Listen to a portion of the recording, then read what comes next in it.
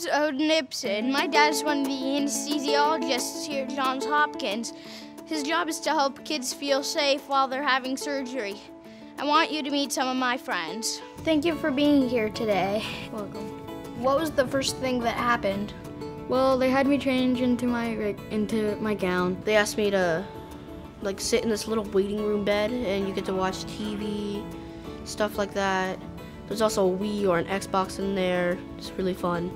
I remember them giving me an IV and then they told me they were going to take me into the operating room. Did the operating room look like a spaceship? Definitely.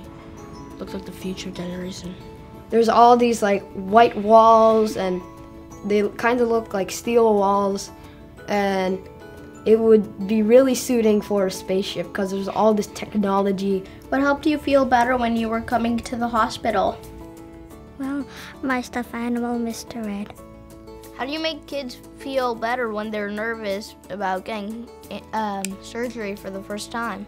I try to be a little bit funny sometimes, and that makes kids feel better. I'm Dr. Greenberg. I'm going to be your pediatric anesthesiologist. Thanks very much for coming. You doing okay? Yes. All right, let me shake your other hand. Who was with you when you got your sleep medicine? Well, they asked my mom to come in there. She went in there, so it was the surgeons and my mom that was in there. Tell me what it was like when they put on the mask. It has like some sort of taste in it, like a scent. Eh, it doesn't really smell too bad. What do you remember most about having surgery? During the whole surgery, you're always under anesthesia, so you're not gonna feel anything. And that's why they put the mask on your face because after they put the mask on your face, you really can't feel anything.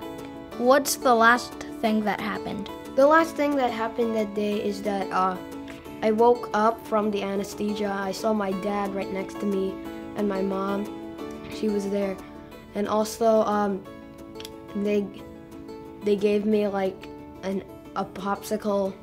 I'm having surgery and I'm really nervous. Is there any advice you could give me? I'd say just not to worry about it.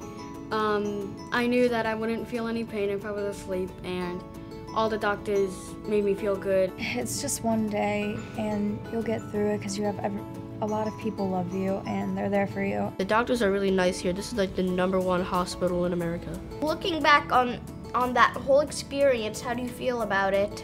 At first, I was nervous, but once I was done surgery and I left, I felt really good and proud that I got through it and it was painless and easy.